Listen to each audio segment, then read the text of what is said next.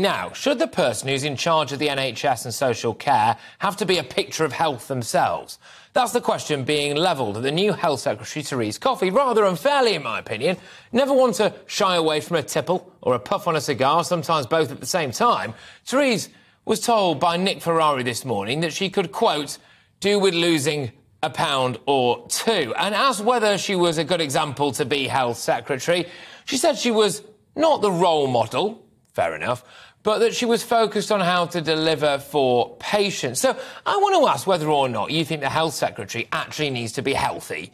Themselves, do you care? Do you not care? Do you think she's unfairly copying it? Do you think, dare I say it, it's fat shaming and misogynistic? Or do you think she should lead by example and, I don't know, become like a teetotal vegan or something? But joining me to debate this is Steve Miller, the weight loss specialist and producer of non-stop great TV moments as well, it must be said, and former host of the TV show Fat Families, and of course journalist and broadcaster Sam Dowler as well. Great to have you both on the show. Right, now, OK, I'm going to start with you, Steve, Steve Miller.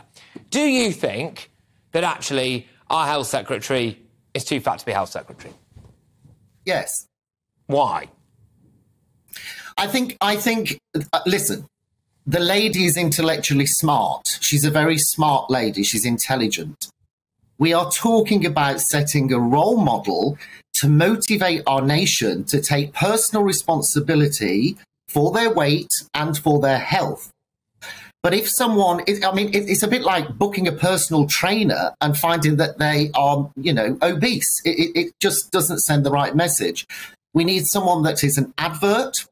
And I think she could become that advert. And I'll, I'll tell you why. Because I think what she could do is actually transform herself to the picture of health doesn't mean to say you, you can't have a drink and, and, you know, enjoy yourself. She could transform herself and be the absolute inspirational role model that this country has needed for a long time.